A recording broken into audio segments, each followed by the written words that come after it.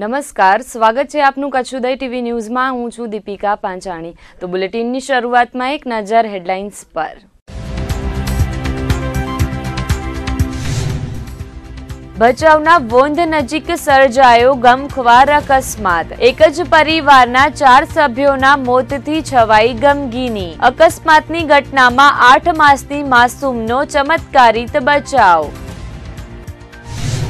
હત્યાના વોન્ટેડ આરોપીએ પોલીસ પર કર્યો ફરી હુમલો.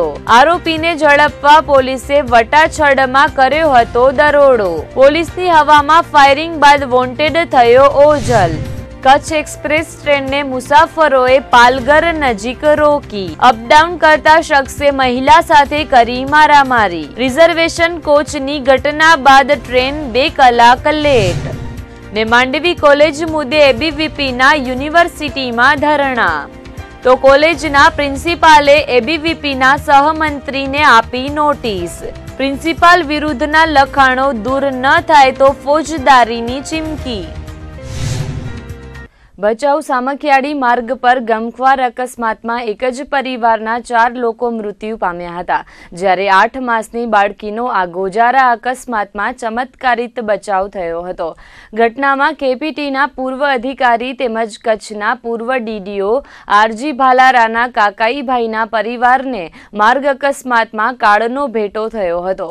મૂળ જામનગર કલ્યાણ પરના વતની અને હાલ ગાંધીધામ ભારતનગરમાં રહેતા ભાલારા પરિવારને અને ભચાઉ સામખિયાળી હાઈવે પર વોંધ પાસે જીવલેણ અકસ્માત નડ્યો હતો.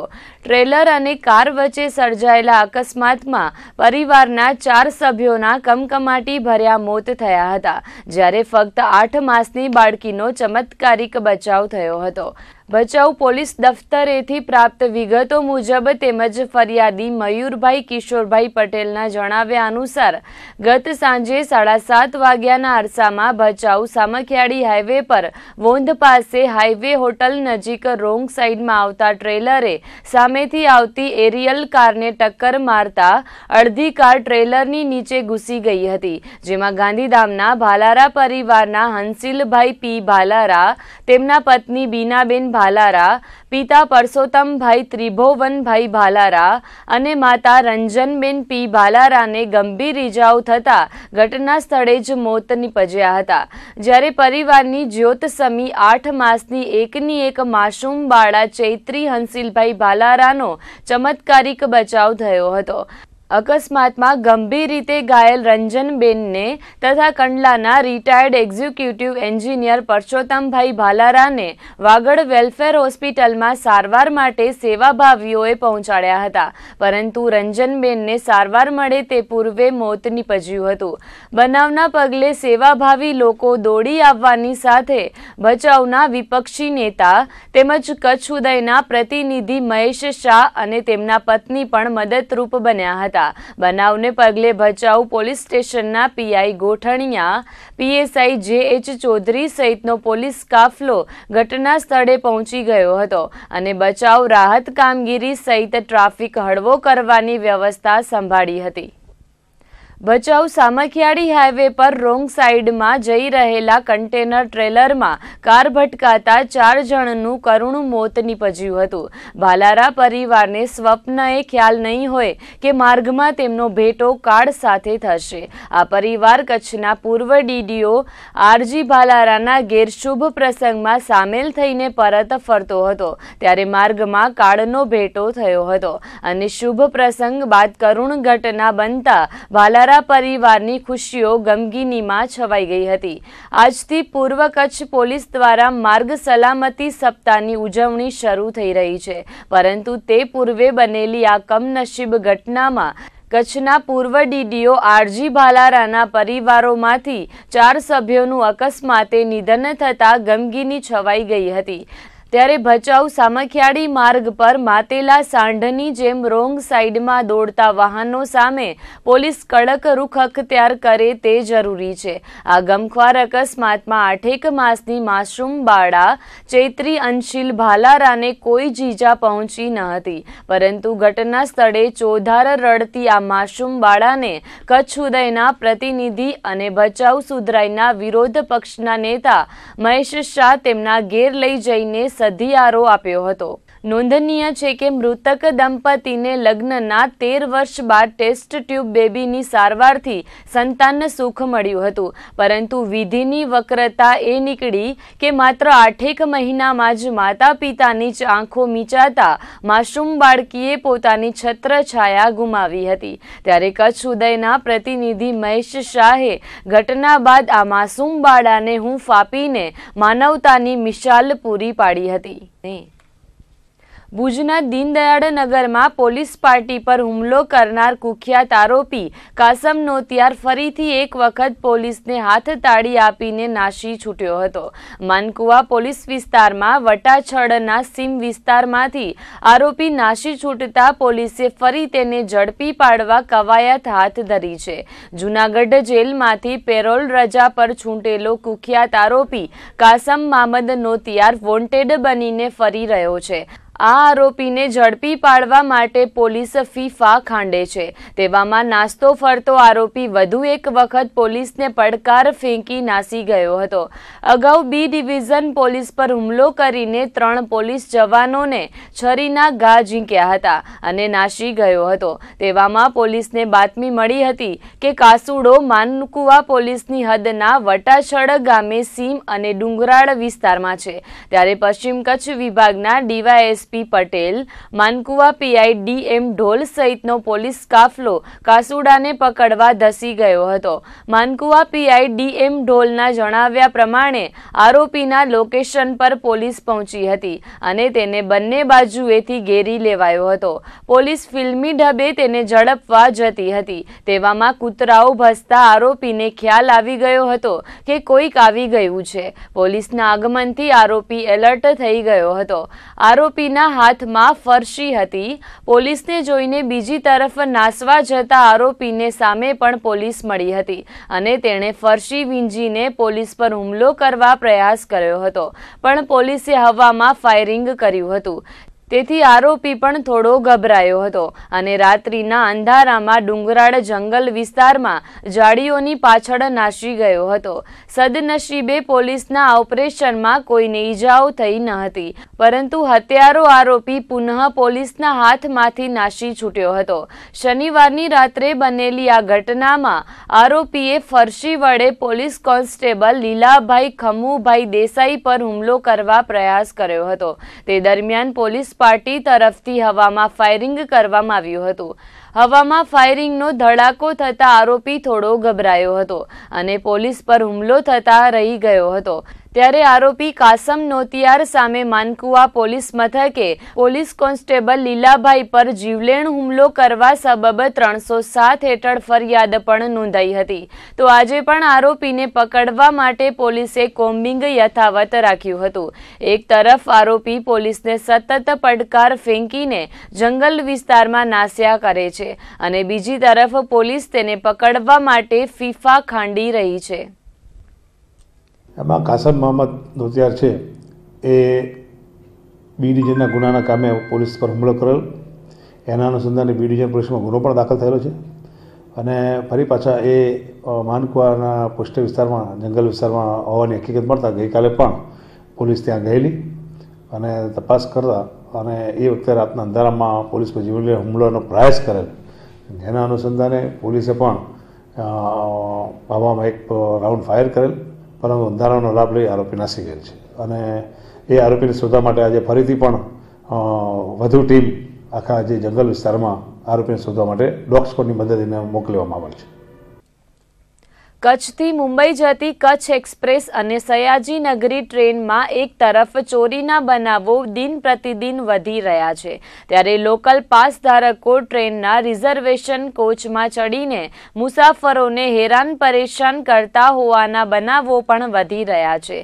ત્યારે આજે પાલઘર નજીક આવેલ બોઈસર રેલવે સ્ટેશન નજીક ટ્રેનમાં અપડાઉન કરતા પાસ ધારકોએ પ્રવાસીઓ સાથે અસભ્ય વર્તન કર્યું હતું અને એક મહિલા મહિલાને માર મારતા મામલો બીચક્યો હતો. કોચમાં રહેલા મુસાફરોએ ટ્રેનની ચેન ખેંચીને ટ્રેનને અધવચ્ચે રોકાવી હતી અને એકથી દોઢ કલાક સુધી ટ્રેન બોઈસર નજીક રોકવાની ફરજ પડી હતી. દરરોજ વહેલી સવારે સુરતથી પસાર થતી કચ્છ એક્સપ્રેસ ટ્રેનમાં ડેલી અપડાઉન કરતા પાસ ધારકો રિઝર્વેશન કોચમાં ઘૂસીને પોતાની ગુંડાગીરી બતાવતા હોય છે અને આજે તો એક મહિલા પર હાથ ઉગામ્યો હોવાથી ટ્રેનમાં સવાર મુસાફરોએ ચેન ખેંચીને ટ્રેન ઊભી રાખી દીધી હતી.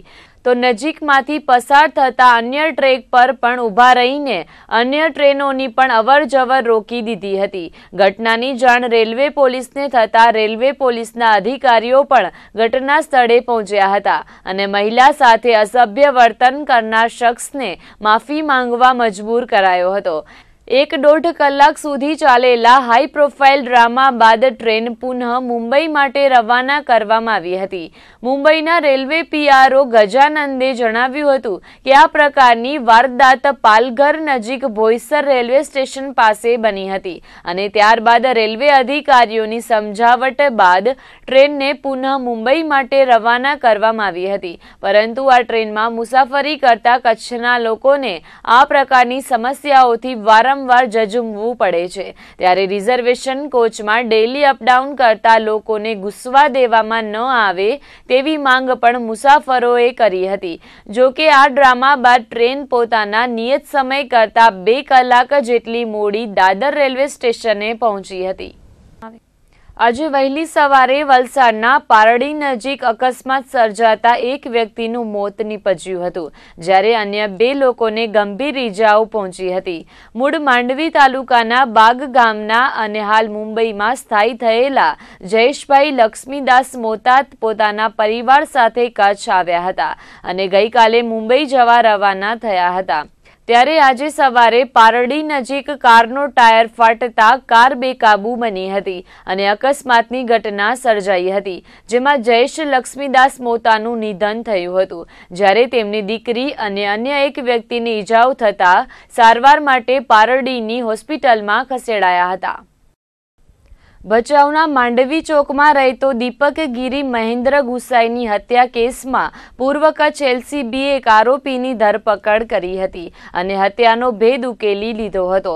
હદભાગી જયદીપ ગુસાઈ ગત પંદરમી જાન્યુઆરીએ પોતાની રિક્ષા લઈને વોંધ જવા માટે નીકળ્યો હતો અને ત્યારબાદ ચોવીસમી જાન્યુઆરીની રાત્રે છાડવારા ગામની સીમમાંથી સળગેલી રિક્ષા અને તેનું હાડપિંજર મળી આવ્યું હતું. આ હત્યા કેસ સંદર્ભે એલસીબીએ ઝીણવટભરી તપાસ હાથ ધરી હતી, જેમાં મૃતક જયદીપનો ફોન બચાવના મેઇન બજાર ચામુંડા માતાજી મંદિર પાસે આવેલા એક મકાનમાં શંકર વસ્તરામ કોલી નામના યુવક પાસે છે, જેની બાતમી એલસીબીને મળી હતી. એલસીબીએ બાતમીના આધારે શંકર પાસેથી માઇક્રોમેક્સ અને સેમસંગ કંપનીના બે મોબાઈલ ફોન મળી આવ્યા હતા. પોલીસે શંકરની સઘન પૂછપરછ કરતા તેણે હત્યાની ઘટનાને અંજામ આપ્યો હોવાનું જણાવ્યું હતું. આરોપી શંકરે પોલીસને જણાવ્યું હતું કે તેનો ભાઈ નિલેશ અને મૃતક જયદીપ બંને સારા મિત્રો હતા. પરંતુ જયદીપે તેના ભાઈ નિલેશને દારૂના નશાના રવાડે ચડાવી દીધો હતો. પંદરમી જાન્યુઆરીની રાત્રે આરોપી શંકર અને તેનો મિત્ર મુકેશ કોલી બંને વોંધ રસ્તા પર ઊભા હતા. ત્યારે જયદીપ ત્યાંથી પોતાની રિક્ષા લઈને પસાર થયો હતો અને આ બંને શખ્સો જયદીપની રિક્ષામાં બેસીને રવાના થયા હતા અને બાદમાં આરોપી શંકરે તેના ભાઈને દારૂ ન પીવડાવવા મુદ્દે ઠપકો આપતા બંને વચ્ચે ઉગ્ર બોલાચાલી થઈ હતી અને ત્યારબાદ શંકરે જયદીપને રિક્ષામાં ભરપૂર દારૂ પીવડાવ્યો હતો અને બાદમાં છાડવારા ગામની સીમમાં લઈ ગયા હતા અને ત્યાં માટીના ઢેફાથી જયદીપના માથામાં પ્રહારો કરીને શંકરે તેની હત્યા કરીને રિક્ષાને સળગાવી નાખી હતી. આ કેસમાં હજુ એક આરોપી મુકેશ કોલીની ધરપકડ થવાની બાકી છે. ગઈ તારીખ પંદર જાન્યુઆરી જાન્યુઆરીના રોજ ભચાઉ તાલુકાના છાડવારા ગામની સીમમાંથી એક ઓટો રિક્ષા તથા એક માણસનો મૃતદેહ બિલકુલ બળેલી હાલતમાં મળી આવેલ હતો. ખરેખર આ મર્ડર છે કે કેમ એ બાબતની તપાસ પણ ચાલુ હતી. આ દરમિયાન એલસીબી ગાંધીધામ અમને બાતમી મળેલી કે આનું મૃત્યુ કરવામાં આવ્યું છે અને એનું મર્ડર કરવામાં આવ્યું છે અને એના જે મોબાઈલ છે એ એક વ્યક્તિ પાસે છે, આરોપી પાસે. આ બાતમી હકીકત આધારે બે આરોપીને પૂછપરછ દરમિયાન ગુનાનો ભેદ ઉકેલવામાં આવેલ છે અને એક આરોપીની અટક કરવામાં આવેલ છે. જે આરોપી છે શંકર કોહલી એના ભાઈને જે આ મરણ જનાર છે જયદીપ ગીરી એ, એને ઉશ્કેરતો હતો અને એને બગાડતો હતો. એવું આ આરોપીના મનમાં શંકા હતી. એના આધારે એને એને ઠપકો આપવા જતાં આ સમગ્ર બનાવ બનેલો હતો. આરોપી પાસેથી જે બનાવમાં વાપરવામાં આવેલી જે ચીજ વસ્તુઓ છે, એ કબજે કરવામાં આવી છે, જે મરણ જનાર છે, એના બૂટ અને એના બેલ્ટ એ બધું એને એને મારી નાખ્યા બાદ એ પોતે પહેરી ગયેલા હતા. તો એ બધી વસ્તુ કબજે કરવામાં આવેલ છે. પૂર્વ કચ્છમાં તસ્કરોએ તરખાટ મચાવતા કાયદો વ્યવસ્થા સામે સવાલો ઉઠ્યા છે. શહેરમાં તસ્કરોએ ગત રાત્રિના એક સાગમટે ચૌદ જેટલી ઓફિસોના તાળા તોડીને ચોરી કરવાનો પ્રયાસ કર્યો હતો. પ્રાપ્ત વિગતો મુજબ ગાંધીધામ હાઈવે પર આવેલી નૂરી મસ્જિદ સામે હોટલની બાજુમાં આવેલા ઓઝા કોમ્પ્લેક્ષમાં તસ્કરોએ સામૂહિક આક્રમણ કર્યું હતું. મળતી વિગતો મુજબ શૂટ બૂટમાં આવેલા પ્રોફેશનલ તસ્કરોએ એક સાથે અંદાજે ચૌદ જેટલી ઓફિસોને નિશાન બનાવી હતી. ઓફિસોમાંથી કોઈ ખાસ ચોરી થઈ ન હતી, પરંતુ મળતી વિગતો પ્રમાણે એક ઓફિસમાંથી લેપટોપ ચોરાયું હતું અને બીજી એક ઓફિસમાંથી રોકડ રકમ દસ હજાર જેટલી ચોરી થઈ હોવાનું સામે આવ્યું હતું. આ ઓફિસમાં સીસીટીવી કેમેરા લાગેલા હોવાથી શૂટ બૂટધારી બે તસ્કરો આબાદ જીલાયા હતા. તો અન્ય એક ઓફિસમાં બંને તસ્કરોએ દારૂની મહેફિલ જમાવી હતી. ઓફિસમાં મદિરા પાન કરીને નીકળી ગયા હતા. સીસીટીવી કેમેરામાં ઝડપાયેલી તસવીરો પ્રમાણે તસ્કરોએ ટામીથી દરેક દુકાનોના તાળા તોડ્યા હતા. પરંતુ કંઈ ખાસ ન મળતા ના છૂટકે એકાદ ઓફિસમાં દારૂની મહેફિલ માણીને નાશી છૂટ્યા હતા. ઘટનાને પગલે ગાંધીધામ એ ડિવિઝનનો સ્ટાફ બનાવ સ્થળે ધસી ગયો હતો અને તપાસ આદરી હતી. ગુજરાત રાજ્યની પંચોતેર નગરપાલિકાઓની આગામી સત્તરમી ફેબ્રુઆરીએ ચૂંટણી યોજાવાની છે. ત્યારે રાપર ભચાઉ નગરપાલિકાની ચૂંટણી યોજાવાની હોવાથી ઉમેદવારી પત્રો ભરવાની પ્રક્રિયાનો આજથી પ્રારંભ થયો છે. વિધાનસભાની ચૂંટણી પૂર્ણ થઈ ગયા બાદ તરત જ સ્થાનિક સ્વરાજ્યની ચૂંટણીઓએ ગુજરાતના દરવાજે ટકોરા દીધા છે. ત્યારે રાજ્યની પંચોતેર નગરપાલિકાની યોજાનાર ચૂંટણીમાં કચ્છની રાપર ભચાઉ પાલિકાનો પણ સમાવેશ થતો હોવાથી કચ્છમાં પણ રાજકીય ધમધમાટ વર્તાઈ રહ્યો છે. નગરપાલિકાની ચૂંટણીને લઈને જાહેરનામું પ્રસિદ્ધ થતા ઉમેદવારી પત્રો ભરાવવાની પ્રક્રિયાનો પ્રારંભ થયો છે. નવા સીમાંકનને પગલે રાપર ભચાઉમાં સાત સાત વોર્ડ અસ્તિત્વમાં આવ્યા છે. જેની અઠ્યાવીસ અઠ્યાવીસ બેઠકોની ચૂંટણી યોજાશે. આજથી શરૂ થયેલ ઉમેદવારી પત્રો ભરાવવાની પ્રક્રિયા આગામી ત્રીજી ફેબ્રુઆરી સુધી ચાલશે. પાંચમી ફેબ્રુઆરીએ ફોર્મ ચકાસણી હાથ ધરાશે. તેમજ છઠ્ઠી ફેબ્રુઆરીએ ફોર્મ પરત ખેંચી શકાશે. નગરપાલિકાની ચૂંટણીને લઈને ભાજપ કોંગ્રેસ દ્વારા હજુ ઉમેદવારોની યાદી જાહેર કરવામાં આવી નથી. જેથી ભાજપ કોંગ્રેસ યાદી જાહેર કરશે, ત્યારબાદ ચૂંટણીલક્ષી ધમધમાટ શરૂ થશે. જો કે આ વખતે અપક્ષ ઉમેદવારોનો પણ રાફડો ફાટવાની શક્યતા હોવાથી ચૂંટણી જંગ ભારે રસાકસી ભર્યો બની રહેશે તો આજે રાપર ટાઉન હોલ ખાતે ચૂંટણીલક્ષી મિટિંગ હોવાને કારણે મામલતદાર કચેરીના તમામ જવાબદાર અધિકારીઓ કચેરીમાં ગેરહાજર રહ્યા હતા, જેથી ફોર્મ લેવા આવેલા લોકોને ધરમના ધક્કા પડ્યા હતા. રાજ્ય ચૂંટણી પંચના આદેશ મુજબ ઓગણત્રીસ તારીખ આજથી રાપર નગરપાલિકાના સાત વોર્ડની જે ચૂંટણી જાહેર થયેલ છે એમાં આજથી ફોર્મ સ્વીકારવામાં આવશે. ત્રણ તારીખ ફોર્મ સ્વીકારવાની છેલ્લી તારીખ છે. ઉમેદવારોના ફોર્મ ચકાસણી માટે પાંચ તારીખ છે. ઉમેદવારો પરત ખેંચવાની તારીખ છ તારીખ છે. ઉમ- મતદાનની તારીખ સત્તર બે બે હજાર અઢાર છે અને મતગણતરી તારીખ ઓગણીસ બે બે હજાર અઢાર છે. આની તમામ ફોર્મ સ્વીકારવાની તમામ વ્યવસ્થા નગરપાલિકા ખાતે રાખેલ છે. અને અહીંયા સ્ટ્રોંગ રૂમ પણ નગરપાલિકા ખાતે રાખેલ છે.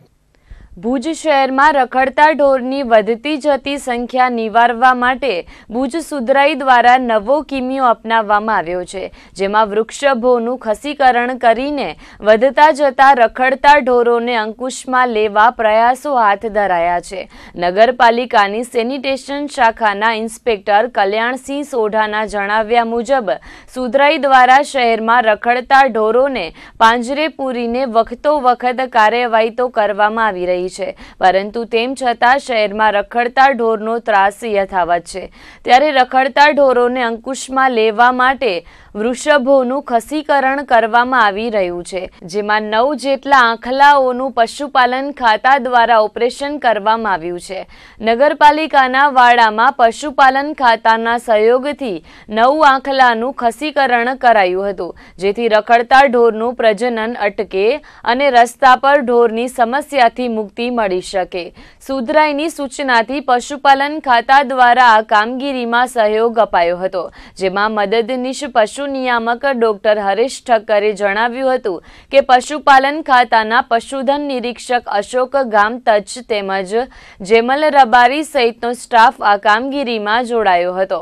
આ સાથે જ સુધરાઈની સેનિટેશન શાખા દ્વારા કામગીરી કરાઈ હતી. પ્રથમ રાઉન્ડમાં નવ જેટલા વૃષભોનું ખસીકરણ કરાયું છે. તો આગામી દિવસોમાં તબક્કાવાર રખડતા આંખલાઓને પકડીને તેમનું ખસીકરણ કરવામાં આવશે. તાજેતરમાં લેવાયેલી સીએની ઇન્ટર એક્ઝામમાં ભુજના યુવાને ડંકો વગાડીને પ્રથમ સ્થાન પ્રાપ્ત કર્યું છે. ગઈકાલે જાહેર થયેલ સીએની ઇન્ટર એક્ઝામના પરિણામોમાં સમગ્ર ભારતમાં ભુજના જય ધર્મેન્દ્ર શેઠ નામના યુવકે પ્રથમ ક્રમ મેળવ્યો હતો અને કચ્છ સહિત સમગ્ર દેશમાં પરિવારનું નામ રોશન કર્યું છે. મૂળ લલિયાણાના અને હાલ ભુજમાં સ્થાયી થયેલા જય ધર્મેન્દ્રભાઈ શેઠે સીએ ઇન્ટર એક્ઝામમાં પંચોતેર પોઈન્ટ એકોતેર ટકા સાથે પ્રથમ ક્રમ મેળવ્યો હતો. કચ્છના ઇતિહાસમાં પ્રથમવાર કોઈ વિદ્યાર્થીએ સમગ્ર ભારતમાં પ્રથમ આવ્યો હોય તેવો સંભવત આ પહેલો બનાવ છે. જય શેઠે પ્રાથમિક અભ્યાસ એન્કરવાલા વિદ્યાલયમાં અને માધ્યમિક અભ્યાસ ભુજની વીડી હાઈસ્કૂલમાં કર્યો હતો. ત્યારબાદ સીએ માટે અમદાવાદની વર્ધમાન જૈન બોર્ડિંગ અને વિદ્યાલયમાં રહીને અભ્યાસ કરી રહ્યો હતો. કચ્છ ઉદય સાથેની વાતચીતમાં જયે જણાવ્યું હતું કે સાતસો માર્ક્સમાંથી પાંચસો ત્રીસ માર્ક્સ મેળવીને દેશમાં પ્રથમ ક્રમ પ્રાપ્ત કર્યું છે અને અભ્યાસ માટે પરિવાર દ્વારા પણ પૂરતો સહયોગ મળી રહ્યો છે. સીએની ફાઇનલ એક્ઝામમાં પણ ઉત્કૃષ્ટ દેખાવ કરવા માટે પ્રયત્નશીલ હોવાનું જણાવ્યું હતું. જયના પિતા ધર્મેન્દ્ર શેઠે જણાવ્યું હતું કે તેમના પરિવારમાં ઉચ્ચ અભ્યાસ કર્યો હોય તેવો કોઈ સભ્ય નથી. જેથી જયે મેળવેલી સિદ્ધિ પરિવાર માટે ગૌરવની વાત છે અને આગળના અભ્યાસ માટે પણ પરિવાર દ્વારા પૂરતો સહયોગ આપવામાં આવશે. ફિલિંગ તો બહુ જ સારી છે. ઘરવાળા પણ બધા બહુ જ ખુશ છે. કેમ કે ગુજરાતી મીડિયમમાંથી ને એ પણ ગુજરાત સાઈડથી તો અમે એ લોકો બહુ ઓછા રેન્ક આપે છે અને ફર્સ્ટ રેન્ક આવ્યો છે, તેથી બધા બહુ જ ખુશ છે. મહેનત તો ઘરવાળાએ બહુ જ સારો સપોર્ટ આપ્યો છે. ક્લાસીસવાળાએ પણ સરોએ પણ બધાએ સારો સપોર્ટ આપ્યો છે. અને પોતાની રીતે પણ મહેનત હોસ્ટેલમાં રહીને ખૂબ જ સારી કરી છે. સીએનો કોર્સ હમણાં જ બદલ્યો છે આજ વર્ષે. તેથી હવે થોડોક કોર્સ પણ હાર્ડ થયો છે. તો એ લોકોએ થોડી વધુ મહેનત કરવી પડશે. પણ રિઝલ્ટ હવે બહુ સારું આવશે એવી આશા છે. જીએસટી ફાયદો કે નુકસાન એ તો હજી કાંઈ કહી ન શકાય. અમે જ્યારે ભણવાનું પૂરું કરી લેશું ત્યારે તેના પરિણામ આવશે. બહુ સરસ છે. એને મહેનત પર કરી ને એનું જ એને ફળ મળ્યું છે. અમારી તો ખાસ કાંઈ મહેનત પણ નથી. અને તે ટોપ પર આવ્યો એના બદલ ખુશી પણ બહુ છે. અહીંની સ્થિતિ તો બહુ અમારું મોટું ફેમિલી છે. એટલે બહુ ખબર નથી પડી ને મારા પપ્પાનો પણ સપોર્ટ એને સારો હતો. એને મારા પપ્પાએ જ બધું, એના દાદાએ જ બધું કરેલું છે એનું. અમારા પરિવારમાં તો કોઈ આમ જોવા જઈએ તો આગળ કોઈ ભણ્યું જ નથી. દસ સુધી જ મેટ્રિક કે બાર સુધી જ વધારે વધારે ભણેલા છે. આ પેલો જ છે જે આગળ ભણે છે. ફિલિંગ્સ કે એટલે મારી જિંદગીનો આનંદ આજે લેખું તો જબરજસ્ત આનંદનો દિવસ છે મારો. કે જે અમુક જિંદગીમાં અમુક સમયે અમુક દિવસો એવા આવતા હોય છે કે જે આનંદ એની સીમાથી બહાર જતો હોય છે. આજે જે મારો પૌત્ર આગળ નીકળી ગયો છે એ જાણીને મને એકદમ ખુશી છે કે ગુજરાત લેવલે નહીં, ફક્ત પણ ઓલ ઇન્ડિયા લેવલે જ્યારે આગળ નીકળી ગયો છે, એનાથી વિશેષ ખુશી કોઈ પણ મા બાપને શું હોઈ શકે? હા, ચોક્કસ. બહુ આનંદ છે કે એક છોકરો પણ અમારા કુટુંબમાં નીકળ્યો કે જે આગળ વધી અને પાછળના આપણા મા બાપનું નામ કુટુંબનું નામ બાપ દાદાઓનું નામ પણ રોશન કરી શકે. અને એ જાણીને મને બહુ આનંદ છે કે મારા કુટુંબમાં પણ એક તો એવો નીકળ્યો છે, કારણ કે મારા સોળ જણાનું કુટુંબ છે, મોટું ફેમિલી છે, એમાં એક છોકરો આગળ નીકળ્યો છે. કાલે બીજા છોકરાઓને પણ એને એને પગથાળે જવા માટે, એને પગે, પગપાળા પગે જવા માટે એને, એ લોકોને પણ મન થશે કે અમે પણ આગળ નીકળીએ, એવું મને લાગે છે. માંડવીમાં આવેલી શેઠ એસવી આર્ટ્સ એન્ડ કોમર્સ કોલેજમાં અનેક સમસ્યાઓ મુદ્દે લડત ચાલી રહી છે, જેમાં હજુ સુધી છાત્રોને ન્યાય ન મળતા માંડવી કોલેજને લઈને એબીવીપી દ્વારા કચ્છ યુનિવર્સિટીમાં ધરણા કરવામાં આવ્યા હતા. તો કોલેજ દ્વારા એબીવીપીના પ્રદેશ સહમંત્રીને નોટિસ ફટકારવામાં આવી છે. પ્રાપ્ત વિગતો મુજબ અખિલ ભારતીય વિદ્યાર્થી પરિષદના પ્રદેશ સહમંત્રી રામ ગઢવીને માંડવી કોલેજ દ્વારા વકીલ મારફતે નોટિસ ફટકારવામાં આવી છે, જેમાં સોશિયલ મીડિયા મારફતે કોલેજને બદનામ કરવાનો આરોપ મુકાયો છે. આ સાથે જ ભુજ અને માંડવીમાં ઠેર ઠેર કોલેજ વિરુદ્ધ લગાડવામાં આવેલા બેનરો દસ દિવસમાં ઉતારી લેવાની તાકીદ કરાઈ છે. અન્યથા બદનક્ષીનો દાવો કરીને ફોજદારી ફરિયાદ કરવાની ચીમકી નોટિસમાં અપાઈ હતી. આ સંદર્ભે એબીવીપીના રામ ગઢવીએ જણાવ્યું હતું કે કોલેજના ઇન્ચાર્જ પ્રિન્સિપાલ મહેશ બારડ દ્વારા ખોટી રીતે પોતાને ટાર્ગેટ કરાયા છે. આ આંદોલન એબીવીપી દ્વારા ચાલે છે. છતાં વ્યક્તિગત રીતે તેમને નિશાન બનાવીને આંદોલન તોડી પાડવાનો પ્રયાસ થતો હોવાનું તેમણે ઉમેર્યું હતું. જો કે એબીવીપીના પ્રદેશ સહમંત્રીને રજિસ્ટર્ડ એડીથી નોટિસ મળ્યા છતાં આજે એબીવીપી દ્વારા યુનિવર્સિટીમાં ધરણા કરવામાં આવ્યા હતા. અને માંડવી કોલેજના પડતર પ્રશ્નો મુદ્દે આંદોલન યથાવત રાખવામાં આવ્યું હતું. આજે અખિલ ભારતીય વિદ્યાર્થી પરિષદ દ્વારા માંડવીની Seth SV arts and commerce કોલેજમાં જે લાલિયાવાડી ચાલી છે હિટલરશાહી નીતિ ચાલી છે, જે લૂંટ ચાલી રહી છે, એના વિરોધમાં તબક્કાવાર જે આંદોલન ચાલી રહ્યું છે, અમે અગાઉ માંડવીમાં અનેક તબક્કામાં આંદોલન આપ્યું, કચ્છ કલેક્ટરશ્રીને પણ આવેદનપત્ર આપ્યું, તમામ અધિકારીઓને મુખ્યમંત્રીશ્રી નકલ રવાના કરી, છતાં પણ હજુ પ્રક્રિયા ચાલે છે ચાલે છે એવો જ જવાબ આપી રહ્યો છે, કોઈ એવું સકારાત્મક પ્રક્રિયા થઈ નથી. ત્યારે અખિલ ભારતીય વિદ્યાર્થી પરિષદ દ્વારા જે આંદોલન ચાલી રહ્યું છે, થોડા સમય અગાઉ બાર જાન્યુઆરીના એક સમિતિ બેઠી હતી, જેમાં એમને એક સમન્સ મોકલવામાં આવ્યું હતું, એમને હાજર કરવામાં આવ્યા ત્યારે ઈસીની સમક્ષ એમણે જાણે કે હુમલો કરવાનો એવો પ્રયત્ન કર્યો હતો અખિલ ભારતીય વિદ્યાર્થી પરિષદના કાર્યકર્તા દ્વારા ત્યાંના પ્રિન્સિપલે ત્યાંના ટ્રસ્ટના લોકોએ અને એ લોકોએ સામે જાહેરમાં કબૂલ્યું હતું કે આટલી આટલી લૂંટ ચાલે છે, એ બધાએ જાહેરમાં આંકડાકીય માહિતી સાથે કબૂલ્યું હતું અને એમણે ખાતરી આપી હતી કે ફી પાછી આપશું, લાઇબ્રેરી ચાલુ કરી આપશું, ગર્લ્સ હોસ્ટેલ ચાલુ કરી આપશું, આઈ કાર્ડ ડિજિટલ આપશું, તમામ બાબતો એમણે કબૂલી હતી. બે દિવસનો અમને સમયની વાત કરી હતી, બે દિવસનો સમય પણ આપ્યો. ત્યારબાદ એમણે એક હલકા પ્રકારનું કૃત્ય કરી અને રામગઢવી અખિલ ભારતીય વિદ્યાર્થી પરિષદના કાર્યકર્તાને એક માનાની નોટિસ મોકલી છે અને માનહાની દ્વારા એ ફોજદારી કાર્યવાહી કરવાનું પણ એક વાત કરે છે.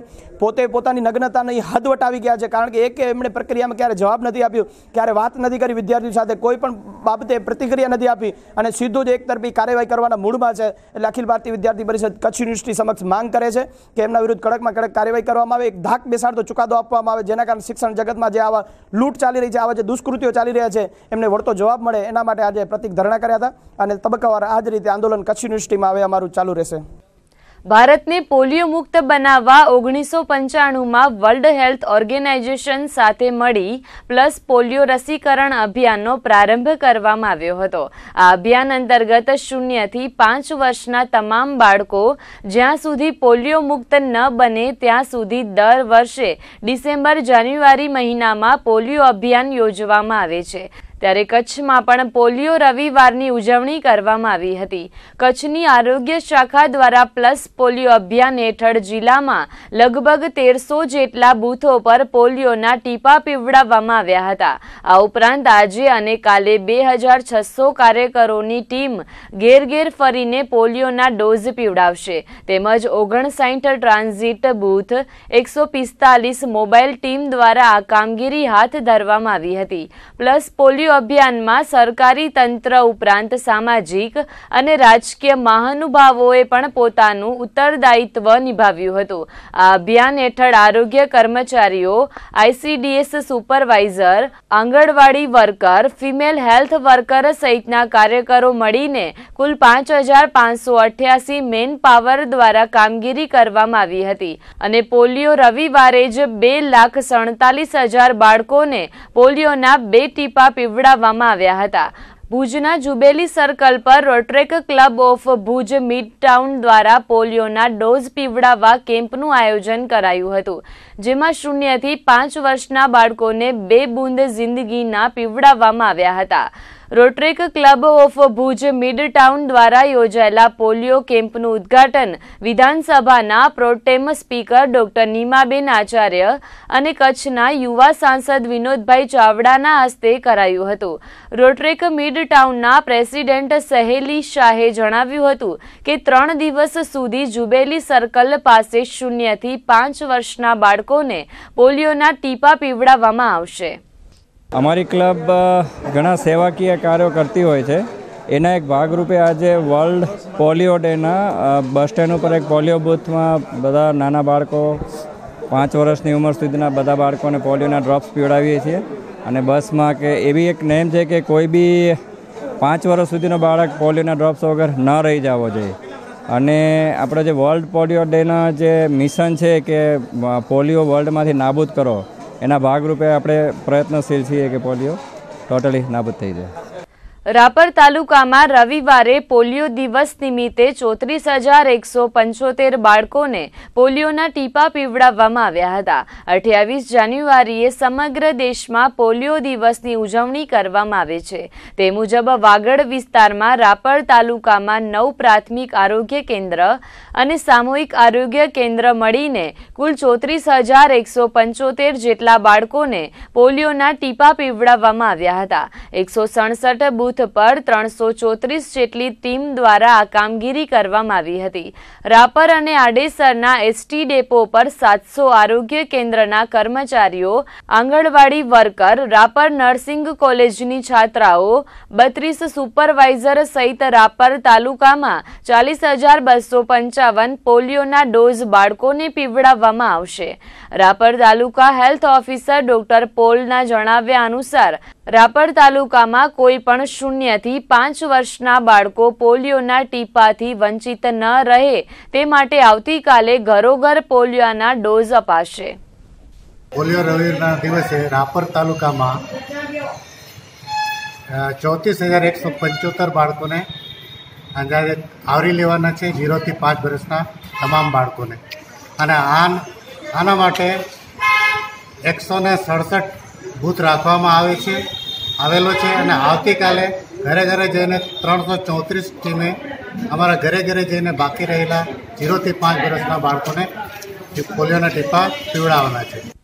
રાપર નગરપાલિકાના ટાઉન હોલ ખાતે રાપર તાલુકાની સોળ ગ્રામ પંચાયતની ચૂંટણી મુદ્દે બેઠક યોજાઈ હતી. આગામી ચોથી ફેબ્રુઆરીએ ચૂંટણી યોજાવાની છે. તે માટે કર્મચારીઓને ચૂંટણીલક્ષી તાલીમ આપવામાં આવી હતી.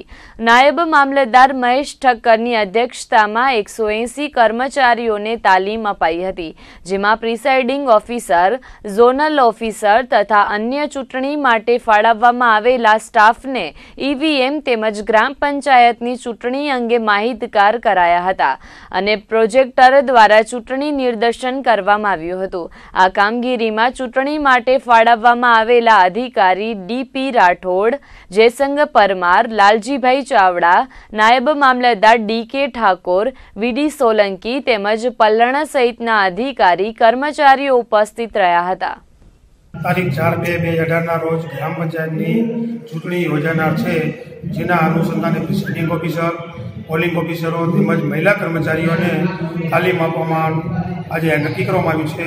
તેઓને ઈવીએમની સમજણ તેમજ પ્રોજેક્ટર દ્વારા માહિતી વગેરે તેઓને સમજૂત કરવામાં આવશે. પશ્ચિમ કચ્છ પોલીસ અને આરટીઓ દ્વારા આજે માર્ગ સલામતી સપ્તાહનો પ્રારંભ કરવામાં આવ્યો હતો. ભુજના રિલાયન્સ પેટ્રોલ પંપ પાસે યોજાયેલ માર્ગ સલામતી સપ્તાહના ઉદ્ઘાટન પ્રસંગે ઇન્ચાર્જ પશ્ચિમ Kutch SP Ravi Teja, Vasam Shetty, DYSP J K Jaiswal અધિક કલેક્ટર ડીઆર પટેલ, આરટીઓ અધિકારી Dilip Yadav, B division PI J M Aal, traffic PSI I M Jadeja, city traffic PSI Rana સહિતના police કર્મચારીઓ અને RTO અધિકારીઓ ઉપસ્થિત રહ્યા હતા. આગામી સપ્તાહ દરમિયાન અલગ અલગ કાર્યક્રમો યોજીને માર્ગ સલામતી અંગે જાગૃતિ ફેલાવવામાં આવશે. આજે ટ્રકોમાં રેડ રેડિયમ પટ્ટી લગાડવામાં આવી હતી. ઉપરાંત લોકોને માર્ગ સલામતી અંગે માર્ગદર્શન પૂરું પાડવામાં આવ્યું હતું. પશ્ચિમ કચ્છમાં વધી રહેલા અકસ્માતોના બનાવોને કઈ રીતે અટકાવી શકાય તે અંગે અધિકારીઓએ છકડા એસોસિએશન તેમજ અન્ય ડ્રાઈવરોને માર્ગદર્શન આપ્યું હતું. તો આજે માર્ગ સુરક્ષા સલામતી સપ્તાહની ઉજવણીના ભાગરૂપે જિલ્લા ટ્રાફિક પોલીસ દ્વારા વાહન ચાલકોમાં જાગૃતિ આણવા પેમ્પલેટ વિતરણ કર્યા હતા. ટ્રાફિક નિયમો અંગે જાગૃતિ દર્શાવતા લખાણ સાથેના પેમ્પલેટ બાંટવામાં આવ્યા હતા. આ રીતે ટ્રાફિક અવેરનેસ માટે એક સપ્તાહ સુધી વિવિધ આયોજનો કરીને માર્ગ સલામતી સપ્તાહની ઉજવણી કરવામાં આવશે. સાથે જ સ્કૂલોમાં વિદ્યાર્થીઓને ટ્રાફિક નિયમન અંગે માહિતગાર કરાશે. તો આ વખતે પ્રથમવાર સિનેમાઘરોમાં પણ ટ્રાફિક અવેરનેસ અંગે વીડિયો બતાવવામાં આવશે. તો ટ્રાફિક અકસ્માત ઘટાડવા માટેનું એક અભિયાન છે, જે દર વર્ષે આયોજન કરવામાં આવે છે. એમાં ખાસ કરીને ટ્રાફિકના નિયમોનું પાલન કરવું.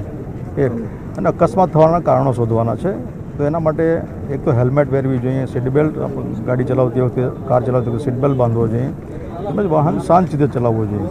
ઘણા લોકો એકદમ ઉચાડથી કે ઉતાવળમાં પહોંચવા માટે વાહન ચલાવતા હોય છે અને અકસ્માત કરી બેસે છે. તો આ વિવિધ આયોજન કરી અને સ્કૂલના માધ્યમથી, સ્કૂલોમાં પણ સેમિનાર કરીશું ટ્રાફિકને લગતા.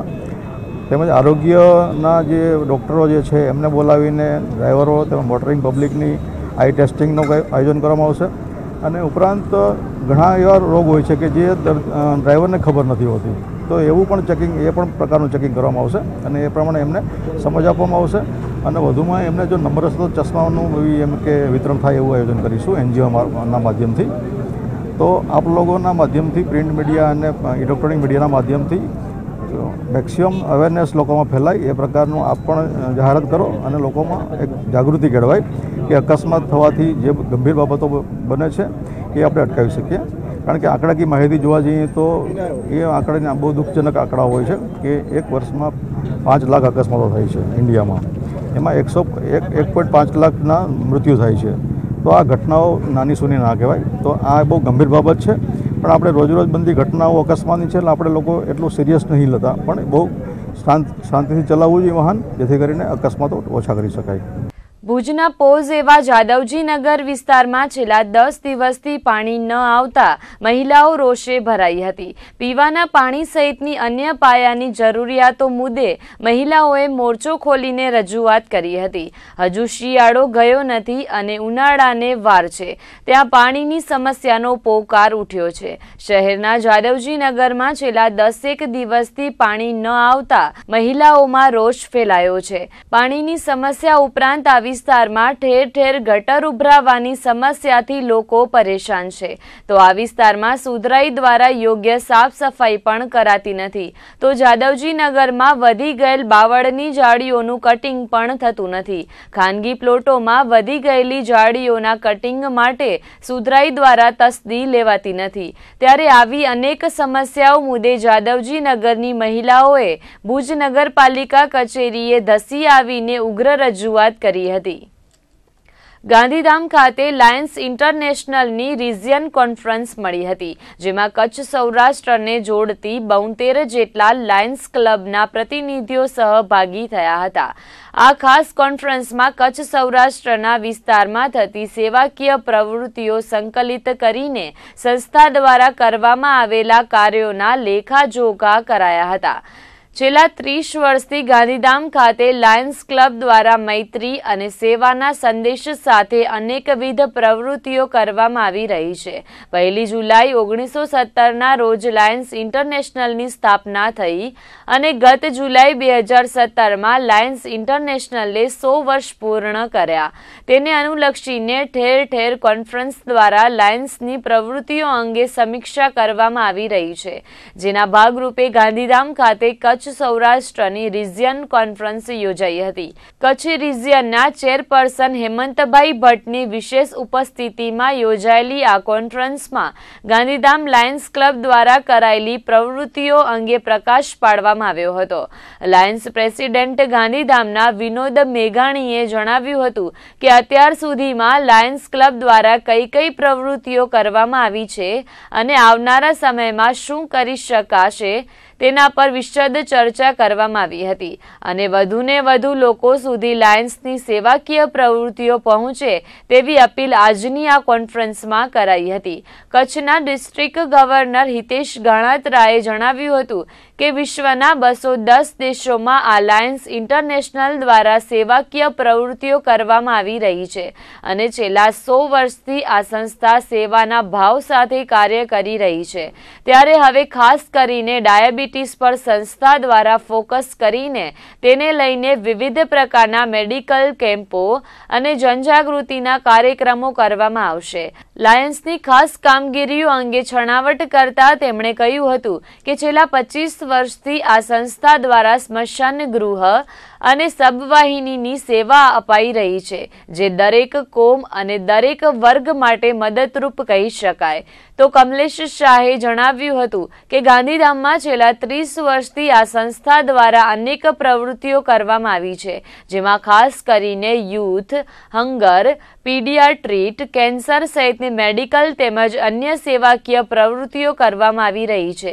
કચ્છ રિજિયનના ચેરપર્સન હેમંતભાઈ ભટ્ટે પણ આ કોન્ફરન્સને મહત્વની ગણાવીને સંસ્થા દ્વારા કરાતી પ્રવૃત્તિઓની સમીક્ષા કરાઈ હતી જેમાં આગામી દિવસોમાં કઈ રીતે વધુને વધુ સેવાકીય કાર્યો થઈ શકે તેની વિચારણા કરવામાં આવી હતી અને તમામ લાયન મેમ્બરોનો આ સેવાકીય પ્રવૃત્તિમાં જોડાવા બદલ આભાર પ્રગટ કર્યો હતો आज इस संसद के माध्यम से हम कुछ पूरे कच्छ के क्लब इकट्ठे हुए हैं और हमारे डिस्ट्रिक्ट गवर्नर मल्टीपल चेयरपर्सन और सौराष्ट्र पूरे से जो हमारे मेहमान आए हुए हैं, आज हम लोग रीजन चेयरपर्सन के माध्यम से इकट्ठे होकर इस वर्ष जो हमने कार्य किए हैं उसके लिए वह आने वाले समय में हमें क्या कार्य करना है लायंस क्लब के माध्यम से हमारे जो इंटरनेशनल के जो हमारे ध्येय नक्की किए हुए हैं, उन्हें पूरा करने के लिए आज हम यहाँ पर इकट्ठे हुए हैं। आज हम विचार विमर्श करके आने वाले समय में हम इस सोसाइटी को किस तरीके से उपयोग उपयोगी बने उसके लिए आज मिलजुल कर हम लोग आज एक ध्येय नक्की करेंगे સૌરાષ્ટ્ર કચ્છ વિસ્તારના ડિસ્ટ્રિક્ટ ગવર્નર તરીકે હું આજે અહીંયા રિજિયન કોન્ફરન્સમાં શુભેચ્છા મુલાકાતે આવેલું છું વિશ્વના બસો દસ દેશમાં જ્યારે આ લાયન્સ ક્લબ ઇન્ટરનેશનલે સો વર્ષ પૂર્ણ કરેલ છે ત્યારે દુનિયાના વિશ્વના સૌથી મોટા એનજીઓ તરીકે સેવાકીય પ્રવૃત્તિ તરીકે સેવાકીય પ્રવૃત્તિઓમાં ખૂબ અગ્રેસર કાર્યગીરી કરેલ છે. લગભગ દસ ક્લબો અસ્તિત્વમાં આવેલ છે અને આ તમામ ક્લબો ખૂબ સારી સેવાકીય પ્રવૃત્તિઓ કરી રહી છે. ગાંધીધામ ક્લબ, લાયન્સ ક્લબ બાવીસથી વધારે લેગસી પ્રોજેક્ટ ધરાવે છે, જેમાં ખૂબ સારી સર્વિસ એક્ટિવિટીઝ કાયમી ધોરણે થઈ રહી છે. આ તમામ પ્રવૃત્તિઓ ગાંધીધામની જનતાને ખૂબ લાભદાયી રીતે કામગીરીરૂપ થઈ રહી છે. ત્યારે આ શુભેચ્છા સાથે લાયન્સ પરિવારને અમારી ડિસ્ટ્રિક્ટ વતી શુભેચ્છા. પ્રવૃત્તિ, કોઈપણ સેવાકીય પ્રવૃત્તિ જ્યારે કોઈ સંસ્થા દ્વારા થતી હોય, ત્યારે વધારેમાં વધારે લોકોમાં આ પ્રવૃત્તિઓ બાબત જાગૃતતા આવે, તે માટે લોકોને જાણ થાય એ જરૂરી હોય છે. અને જાણ થાય તો આમાં મેમ્બરશિપ વધે. મેમ્બરશિપ વધે તો ઝાઝા હાથ રણિયામણા એ જે કહેવત છે, એ પ્રમાણે વધુ મેમ્બરો થાય તો વધારે સેવાકીય પ્રવૃત્તિઓ થાય. અને વધારે સેવાકીય પ્રવૃત્તિ થકી સમાજને લાભ થાય. તો આજે જ્યારે અહીંયા રિજિયન કોન્ફરન્સ છે, ત્યારે સૌરાષ્ટ્ર અને કચ્છ એવા આ કચ્છ વિસ્તારની તમામ ક્લબોના પ્રતિનિધિઓ અહીંયા હાજર છે. તો આ જ સંદેશ છે અમારો કે વધારેમાં વધારે અમે લોકોને લાભરૂપ થઈ શકીએ. અને વધારેમાં વધારે મેમ્બરશિપ દ્વારા આ પ્રવૃત્તિઓને આગળ વધારી શકે કે જે સમાજની ચિંતા કરે છે એમની પાસે જે નથી એ પહોંચાડવાનો લાયન્સના માધ્યમથી જે પ્રયત્ન કરે છે, આ ક્લબ લગભગ ત્રીસેક વર્ષથી આ શહેરની અંદર સેવાકીય પ્રવૃત્તિ દ્વારા ખૂબ જ પ્રચલિત છે. આમ આ ક્લબની ઘણી બધી કાયમી પ્ર- પ્રોજેક્ટ્સ છે. આ લોકોનો એક સરસ મજાનો ઇન્ડિવિડ્યુઅલ હોલ છે, જે લોકોને રાહત દરે એ લોકો સેવાકીય અને સાંસ્કૃતિક પ્રવૃત્તિઓ માટે આપે છે. અમે ખાસ કરીને યુથ હંગર એન્વાયરમેન્ટ ડાયાબિટીસ અને પીડિયાટિક અ, કેન્સર માટે કામ કરી રહ્યા છે. આમ તો લાયન્સ ક્લબ ઇન્ટરનેશનલ ઓગણીસો ને સત્તરમાં જન્મેલો એક ઓર્ગેનાઇઝેશન છે. લાસ્ટ યર સો વર્ષ પૂરા કરી એક જુલાઈ બે હજાર સત્તરના રોજ એકસો એકમાં વર્ષમાં પ્રવેશ કર્યો છે. એટલે આ વર્ષ અમારા માટે ખૂબ જ અગત્યનું છે. જે કહેવાય છે ને કે સમય સાથે પરિસ્થિતિ પ્રમાણે વિચારો બદલાય છે, સમાજ બદલાય છે, સામાજિક ધોરણો બદલાય છે, સમાજની જરૂરિયાતો બદલાય છે. જરૂરિયાત, લોકોની જરૂરિયાતો પણ બદલાય છે એમ નવા નવા વર્ષની શરૂઆત અને નવી સદીનું પ્રવેશ દ્વાર એવું આ વર્ષ એક નવા જોમ સાથે, નવા ઉત્સાહ સાથે, નવા ઉમંગ સાથે લાયન્સ ઇન્ટરનેશનલ વિશ્વના બસો ને બાર દેશમાં મૈત્રી અને સેવાનો સંદેશો પહોંચાડે છે. અમારું સૌરાષ્ટ્ર અને કચ્છ એક મોટું લગભગ બોતેર ક્લબનું અમારો આ વિસ્તાર છે અને એ કહેવાય છે district three two three two જે. એમના અધ્યક્ષ લાયન હિતેશભાઈ ગણાત્રા હમણાં જ આપની સાથે વાત કરી. ખૂબ જ સરસ રીતે આ વર્ષનું સંચાલન કરીને નેતૃત્વ આપી રહ્યા છે. સમાજના વધારેમાં વધારે લોકો આ કાર્યમાં જોડાય અને નીડી પીપલ સુધી સેવાનો સાથ પહોંચે એવા પ્રયત્નો સાથે અમે સૌને શતાબ્દી વર્ષની ખૂબ ખૂબ શુભેચ્છાઓ આપીએ છીએ. જ્યારે યુવા અનસ્ટોપેબલ ગ્રુપ દ્વારા આ કોન્ફરન્સમાં પ્રેઝન્ટેશન રજૂ કરવામાં આવ્યું હતું. આ ગ્રુપ દ્વારા દેશની અગિયાર લાખ શાળાઓમાંથી છસો જેટલી શાળાઓને દત્તક લેવામાં આવી છે અને આ શાળાઓમાં પાંત્રીસ ટકા જેટલો ડ્રોપ આઉટ રેશિયો છે. તેમજ શાળામાં ભૌતિક સુવિધાઓ પણ નથી. ત્યારે તેમાં કઈ રીતે વિકાસ સાધી શકાય તેની છણાવટ કરવામાં આવી હતી. જેમાં શાળાના બાળકોને કંપનીઓ તરફથી પ્રોત્સાહન મળે અને ભૌતિક સુવિધાઓ ઊભી થાય તેવા પ્રયાસો હાથ ધરાઈ રહ્યા છે. તો ગ્રુપ દ્વારા શાળાઓની મુલાકાત લઈને બાળકો સાથે સંવાદ કરી તેઓને વૈચારિક રીતે પણ સમૃદ્ધ કરવામાં આવી રહ્યા છે. આમ શાળાઓના ઇન્ફ્રાસ્ટ્રક્ચરનું અપડેશન કરવાની સાથે સાથે તેઓ પોતાની વિચારસરણી બદલીને વિકાસ સાધી શકે તેવા પ્રયાસો કરાઈ રહ્યા છે. અને અમે લગભગ છેલ્લા બાર વર્ષથી યુવા અનસ્ટોપેબલ નામની સંસ્થા ચલાવીએ છીએ. અને યુવા અનસ્ટોપેબલ સંસ્થામાં અમે લગભગ છસો સ્કૂલો દત્તક લીધી છે. અને છસો એવી ગવર્મેન્ટ શાળાઓ છે કે જે ડી કેટેગરીમાં આવે એટલે સૌથી ખરાબ કેટેગરીની સ્કૂલો હોય. આખા ઇન્ડિયામાં લગભગ અગિયાર લાખ શાળાઓ છે અને છ લાખ સ્કૂલ્સ એવી છે કે જે ડી કેટેગરીની સ્કૂલ્સમાં આવે છે. આ સ્કૂલમાં તેત્રીસથી પાંત્રીસ ટકા ડ્રોપઆઉટ છે દર વર્ષે અને છોકરીઓ મેક્સિમમ લેવલે ડ્રોપ થાય છે. ઇઠ્યોતેર ટકા બાળકોને પીવાના પાણીની સુવિધા પૂરી નથી પડતી. હવે આવા છોકરાઓ લગભગ એંશી ટકા છોકરાઓ છે ટોટલ એજ્યુકેશનમાંથી એંશી ટકા બાળકો એવા છે જે ગવર્મેન્ટ શાળાઓમાં જાય છે. વીસ ટકા છોકરાઓ આજની તારીખમાં પ્રાઇવેટ એજ્યુકેશન લઈ શકે છે. હવે આ સ્કૂલોમાં જ્યાં સુધી ત્યાંનું એન્વાયરમેન્ટ નહીં બદલાય, જ્યાં સુધી ત્યાંનું વાતાવરણ નહીં બદલાય, જ્યાં સુધી ત્યાં સાચી અવેરનેસ અને એટીટ્યૂડ નહીં બદલાય, ત્યાં સુધી દેશનું ભવિષ્ય કદાચ નહીં બદલી શકાય. એટલે આજે છાશવારે જે આપણા દેશમાં આંદોલનો થાય છે, કે લોકો કોઈ પણ મુદ્દા પર આ બહાર નીકળે છે અને તોફાનો કરે છે, એટલા માટે થાય છે કેમ કે એમને રાઇટ એજ્યુકેશન નથી મળ્યું. જો રાઇટ એજ્યુકેશન મળે, તો જે દિશા અને જે દશા આપણા મહાત્મા ગાંધી કે સરદાર પટેલ કે જવાહરલાલ નહેરુ બધા મહાપુરુષોએ જોઈતી એ દિશામાં આપણે ચોક્કસ આગળ વધી શકીએ. એટલા માટે અમારું મેઇન ફોકસ એઝ અ સંસ્થા ગવર્મેન્ટ શાળાઓને કઈ રીતે વધારે મજબૂત કરી શકીએ, એના પર છે. અને આજે હું અહીંયા લાયન્સ ક્લબમાં એના વિશે જ વાત કરવાનો છું. ગવર્મેન્ટની અગિયાર લાખ શાળાઓ છે ઓલ ઓવર ઇન્ડિયામાં અને મેઇન પ્રોબ્લેમ એ આવે છે કે ગવર્મેન્ટ પાસે એનું ઓપરેશનલ એક્સપેન્સ હોય છે, એનું બજેટ થતું હોય છે એલોકેટ પણ જે એનું વન ટાઈમ કોસ્ટ આવે, હવે અગિયાર લાખ સ્કૂલોને વન ટાઈમ કોસ્ટે ફરીથી નવી બનાવવી એ બહુ અઘરું ગવર્મેન્ટ માટે પડતું હોય છે. એટલે જે સીએસઆર હોય છે, જે કોર્પોરેટ સોશિયલ રિસ્પોન્સિબિલિટીમાં ગવર્મેન્ટ ગવર્મેન્ટ એક લો લાવી છે કે કોર્પોરેટ કઈ રીતે આ બધા કામમાં સહભાગી બની શકે. એટલે જેટલી બી પીએસયુઝ છે, જેટલી બી કંપનીઓ છે, જે પાંચ કરોડથી વધારાનો પ્રોફિટ કરે છે, એ બધા ચેનલાઇઝ વેમાં જો એજ્યુકેશન સેક્ટરમાં કામ કરે તો એ ધીમે ધીમે ધીમે આપણે વધારે સારું કરી શકીએ. એટલા માટે અમે ફોકસ રાખ્યું કે ભાઈ સ્કૂલોમાં કામ કરીએ. કેમ કે મહત્ત્વનું કામ છે, ફાઉન્ડેશનનું કામ છે. અને એ કામને પછી ધીમે ધીમે ધીમે અમે આગળ વધારીએ. અમે છેલ્લા બે વર્ષમાં છસો સ્કૂલો કરી. અમે પહેલાં વોલન્ટરીલી કામ કરતા હતા. સ્કૂલોમાં જઈએ, બાળકોને ભણાવીએ વેલ્યુ બેઝડ એજ્યુકેશન આપીએ, એમના વિચારો બદલીએ. ધીમે ધીમે અમને થયું કે ભાઈ આની સાથે સાથે ઇન્ફ્રાસ્ટ્રક્ચર અપગ્રેડેશન પણ થાય. અને ઇન્ફ્રાસ્ટ્રક્ચર અપગ્રેડેશન થશે તો એક સારું વાતાવરણ મળશે. એટલે ઓટોમેટિકલી એમના વિચારો સારા થશે. એટલે અમે હવે ઇન્ફ્રાસ્ટ્રક્ચર પર પણ ધ્યાન આપ્યું છે. તો આજના બુલેટિનમાં બસ આટલું જ. ફરીથી મળીશું આવતીકાલે. ત્યાં સુધી અમને રજા આપશો. નમસ્કાર.